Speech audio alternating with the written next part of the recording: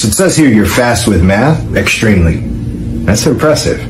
What's 31 times 17? 47. It's not even close, but it was fast.